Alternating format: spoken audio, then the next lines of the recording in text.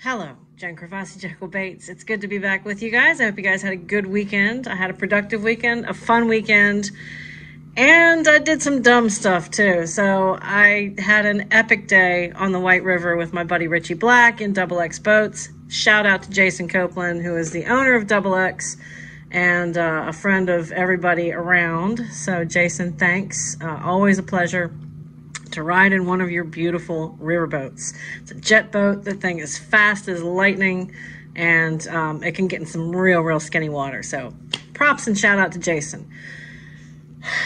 But I got all the way up there. It's a three hour drive from where I live, and I would drive six or seven hours to fish the White River. It's just that good, kids. It is just that good awesome trout fishing. You run up on Crooked Creek and the water is up right now. So there's a lot of fish. I saw my first paddlefish, which everybody down here in Arkansas calls calls the um, shovelbill catfish. And it was a monster. It was like three feet long. It was awesome. So I had a lot of sightings. There was a lot of clear water. And I got all the way up there and I did not have an SD card on me. I had all my GoPros. I had I was ready to film underwater. I was going to have a great still had a great day fishing. Took lots of pictures. Took some release videos. Lots of fun. But ah, oh, don't have a video to show you guys. So, pulled some dumb stunts and it's just lack of sleep because everything else I was doing to get a day off was part of what you guys are going to see here. So let's get into what we have here. And I hope you guys enjoyed the footage. I'm going to throw some, some pics in at the back end of this so you can see some of the stuff that we caught and released on the White River and up in Crooked Creek. And uh, yeah, so next time, I promise you, I will have all the GoPros. I do it like a couple times a year uh, whenever we can. So these are going up to CJ. He's got, uh, and I'm constantly evolving these, and he had ordered three regulars. I've upgraded him to the foiled, and this is a full foil.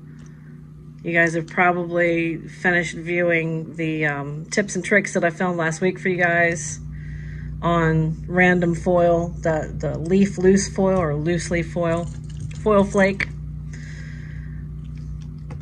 But these are on just regular pre-foil.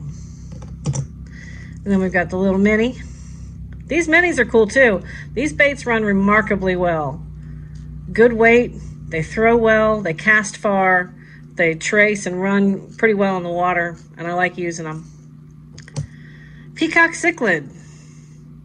Man, I have fun. This is, peacocks are probably, I always say that, peacock bass. Let's get it right, Jen. Peacock bass are probably some of my favorite fish and favorite patterns to do. Just so amazing and so beautiful. It's one of the one of the things that I would like to do if I ever lived in Florida would be bass fish for peacocks every single day. It's a little bandit BD 200.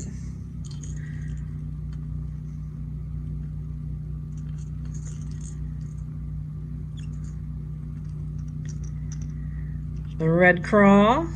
Got that red craw going on. On a 2.5. Black eyes. Also on 1.5s. That bright fluorescent orange on the belly. Just a little stencil action on the uh, segments.